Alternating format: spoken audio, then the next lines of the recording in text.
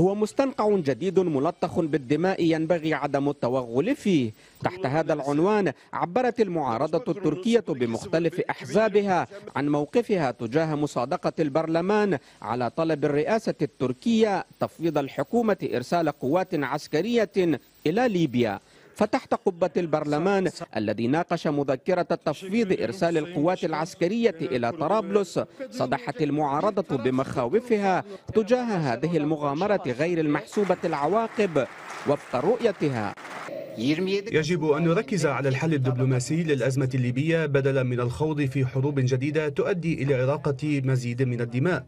إرسال قوات تركية إلى ليبيا سيدخلنا في مستنقع قد لا نتمكن من الخروج منه.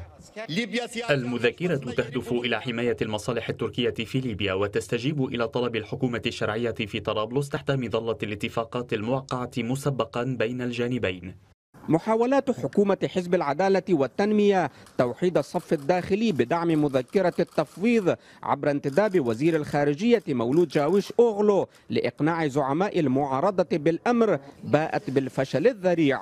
فالتمدد العسكري في الإقليم الذي تسعى إليه الحكومة ترى فيه المعارضة سياسة تسيء لسمعة تركيا بين جيرانها بينما الجرح السوري ما زال مفتوحا.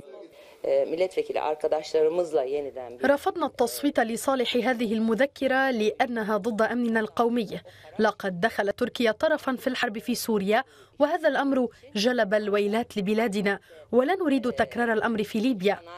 وتتواتر الأنباء عن إمكانية استعانة الحكومة التركية بمقاتلين موالين لها في سوريا لزجهم في الحرب الليبية التي يخشى مراقبون أن تجلب الخراب لتركيا وتؤجج الصراع في المنطقة. سيزج بالجيش التركي في الحرب الليبية فقط لأجل طموح الرئيس أردوغان ومغامراته وإلا كان من المفترض أن تتحرك تركيا ضمن إطار حلف الناتو وغير منفردة. تتقدم الحكومة التركية نحو ليبيا وعينها على نفطها كما يرى مراقبون وسط معارضة داخلية وإقليمية ودولية لا يستهان بها ما يجعل من إرسال أنقرة قوات عسكرية إلى طرابلس أمرا محفوفا بكثير من المخاطر. محمود واثق إسطنبول الميادين.